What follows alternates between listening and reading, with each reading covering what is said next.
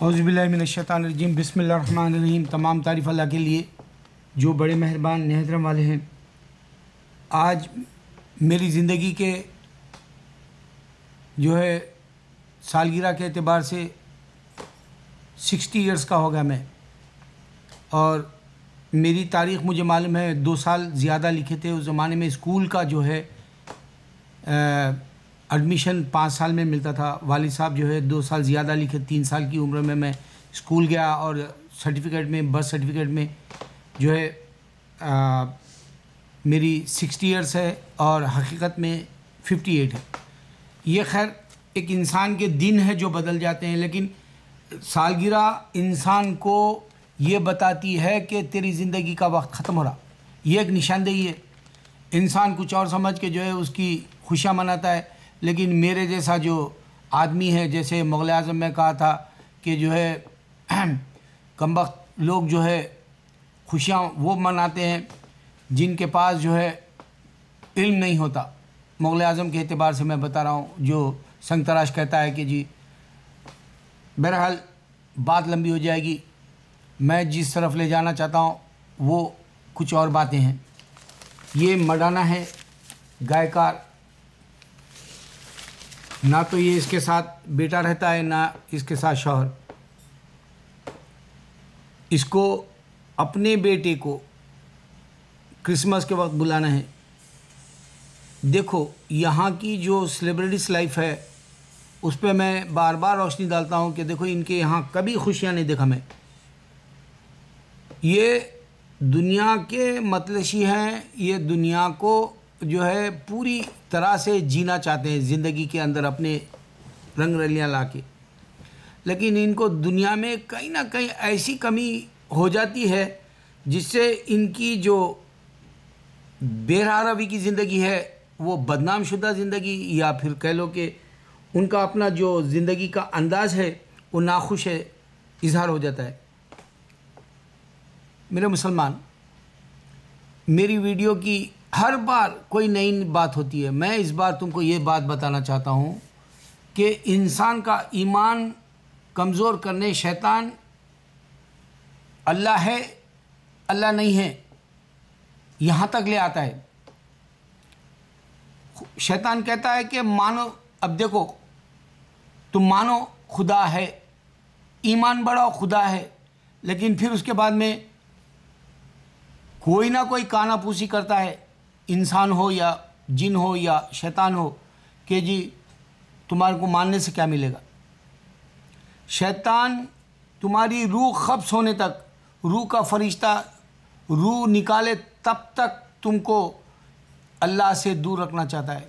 उसने अल्लाह से मांगा था इस वास्ते, वो चैलेंज तुम्हारी आखिरी सांस तक रहेगा वो। तो मानो तो खुदा है नहीं तो कुछ नहीं। अल्लाह कह रहा है। अब अल्लाह फ़ायदा क्या देगा तुम्हारे को? ये देखना है तुम।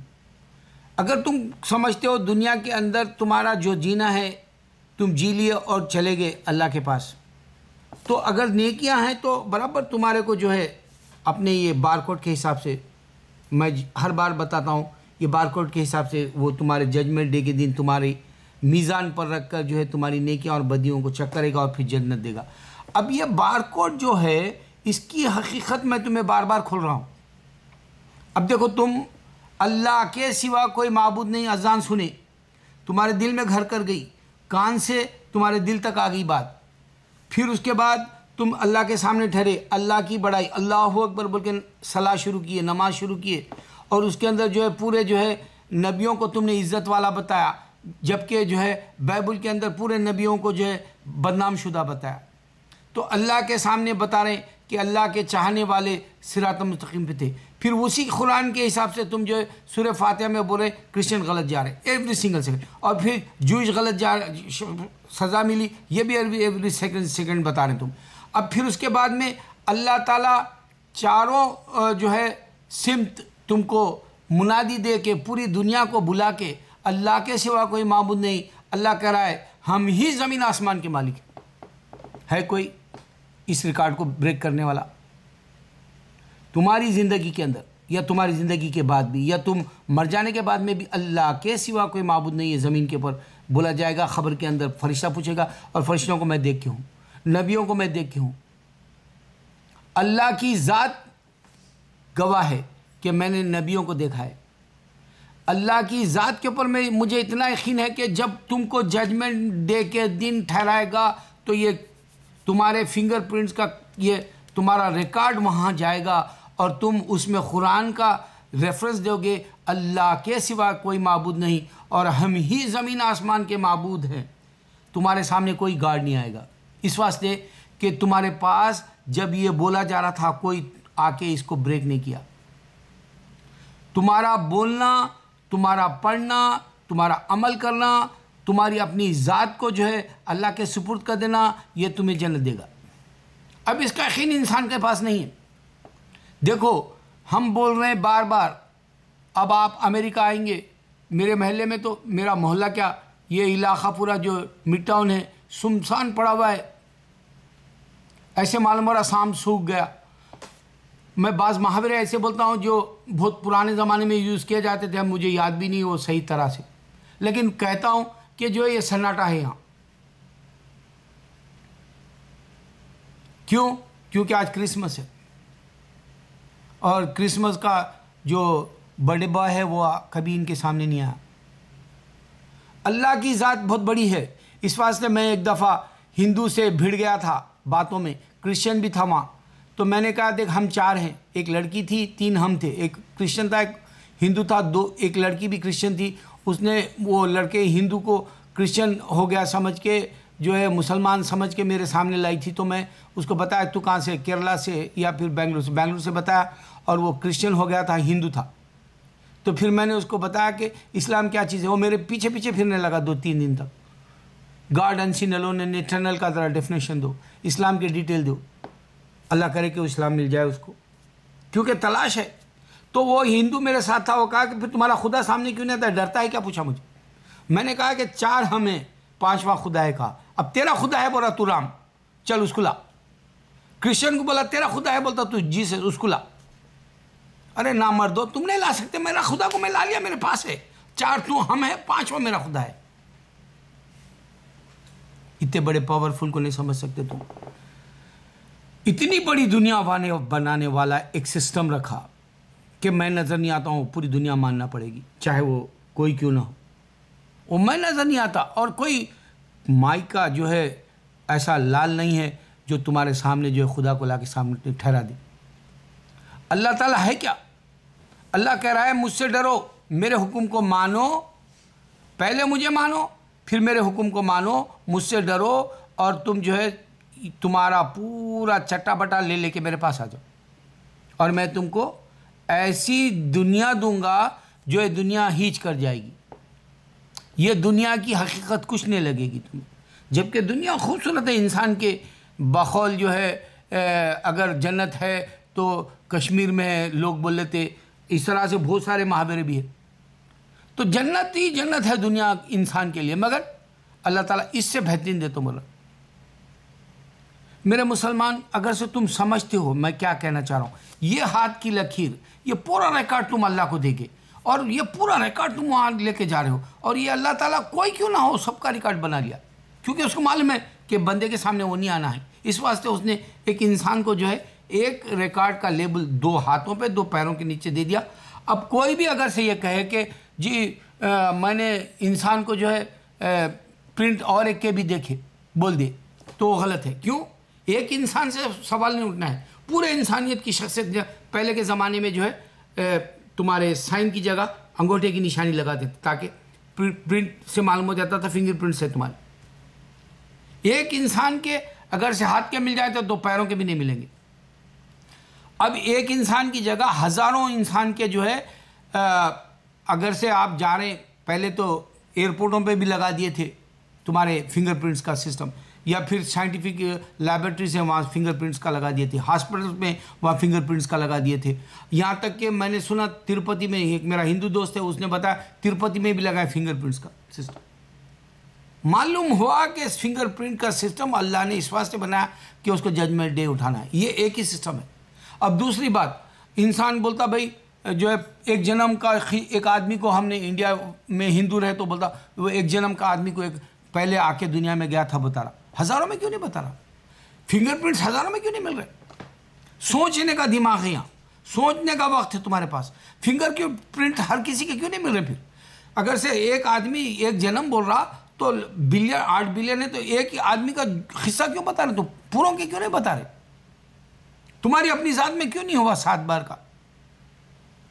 देखो साइंस बोलती कि जो है तुम पोर्क खाओ, कुछ साइंटिस्ट डिक्लेयर करे कि खा सकते, उससे कोई नुकसान आती है। कुछ साइंटिस्ट ये बताए पोर्क मत खाओ। यहाँ तक कि हॉस्पिटल में लिखा दिए कि पोर्क मत खाना। मालूम यह हुआ कि साइंस एक एक सही है बुरा है, गलत है, बुरा। पोर्क के तालु से। और फिर इसी तरह से जो है, खतना कराना है। खतना का क्या है? कोई बोला, खतना कराए तो फ़ायदा है। कोई बोला, साइंटिस्ट, तुम नहीं करा तो भी चलता। हिंदू तो बगैर खतना के जो है, अपने बच्चे पैदा कर लेते। तो यहाँ मालूम हो रहा है, एक का ख्याल एक है कि ये वो नहीं है अल्लाह। अल्लाह कह रहा है, माने तो मैं हूँ। तुम्हारा फ़ायदा है। अगर से तुम बोलेंगे कि मैं मानता नहीं तुम्हारा नुकसान है। अगर तो तुम बोलोगे कि हिंदू खुदा है वो आया नहीं। तुम्हारा नुकसान है। तुम कहते हो क्रिश्चियन का खुदा है, वो आया ही नहीं तुम्हारे सामने। यहूदी का खुदा है, वो आया ही नहीं। अल्लाह चैलेंज कर दिया। अल्लाह के सिवा के इस वास्ते कोई नहीं आया तुम्हारे सामने। मेरे भाई, मेरा दर्द क्या है? तुमको अल्लाह को पहचानना है। अच्छा मैं अपनी बात ख़त्म करूँ। मुझे उर्दू से बहुत लगाव है। मैंने कल रात में हेरिटेज विरसा नाम से एक शो है, जो महफिल सजती है पाकिस्तान में, और यूसुफ कुछ नाम है उनका, और कोई ख़ातून भी उनके साथ बैठकर जो है अक्सर गायकारों को इंट्रोड्यूस करते हैं। उसमें अल्लामा इकबाल की शायरी होती है, या मिर्ज़ा गालिब की होती है, या फिर कोई और भी अताउल्ला नाम का एक दर्द भरा गायकार है, बहुत पुराना क्लासिकल का। तो इस तरह से वो महफिलें होती है, उसमें उर्दू बोलने वालों को कल मैंने देखा। मैं शजदर हो गया। मेरी उर्दू कहाँ है और इनकी उर्दू कहाँ है? आज भी मैं समझता था मुग़ल आज़म जैसा दौर ख़त्म हो गया, क्योंकि बेहतरीन उर्दू थी। रज़िया सुल्तान बेहतरीन उर्दू, पाकिज़ा बेहतरीन उर्दू थी। मैं समझा, वो वक्त हम नहीं ख़त्म हुआ। अल्लाह ने मीर तकी मीर, गालिब और इकबाल, ये फ़ारसी लिखते थे। मेरे वालिद भी फ़ारसी के शायरी लिखते थे। मेरे ससुरे भी फ़ारसी समझते थे, बोलते थे और माशाल्लाह वो भी लिखते थे क्योंकि वो भी उर्दू शायर थे। उनका भी तखलुस बड़ा प्यारा था राज। तो इस तरह से वो जो दौर हमारे हिंदुस्तान से दो दुश्मनी करके उठा लिया गया, क्योंकि मुसलमानों ने यूज़ की थी। पर्शिया जो ईरान है, वो जो है वहाँ फ़ारसी थी और वो मुसलमान है आज। और फिर ये जो है उर्दू है, जो मुसलमानों की ईजाद करता है हज़रत निज़ामुद्दीन अल्लाह के ज़माने से, वो उसकी दुश्मनी हुई। ये दो को जो है, ये ख़त्म करना चाहे मगर ख़त्म नहीं हो पाई। क्योंकि अल्लाह जब जिसको इज़्ज़त देता है, उसको कोई भी जो है, हाथ नहीं लगा सकता। उसका बाल बाका नहीं कर सकता। अल्लाह जब दे देता है, सब कुछ दे देता है, जिस तरह मैं बीमारियों में भी, मैं अल्लाह के इश्क में डूबा, सरशार रहकर, तुम्हारे तक वो बात दे रहा हूँ, माने तो खुदा है। वरना कुछ नहीं। और तुमको अल्लाह पकड़ लेगा। यही हाथ के, मैं चैलेंज से बता रहा हूँ, यही एक सिस्टम है उसका। मेरे अपने, हमारे अपने जो स्कॉलर्स है, वो भी तुमको रोशनी नहीं डाल सकते। मगर मैं कहूँगा कि मेरे भाई, तुम अपनी ज़ात में अल्लाह को तलाश करो। कहो अल्लाह से अल्लाह, तू मुझे आबिद तो बना या आरिफ तो बना? अल्लाह अकबर अल्लाह अकबर अल्लाह अकबर।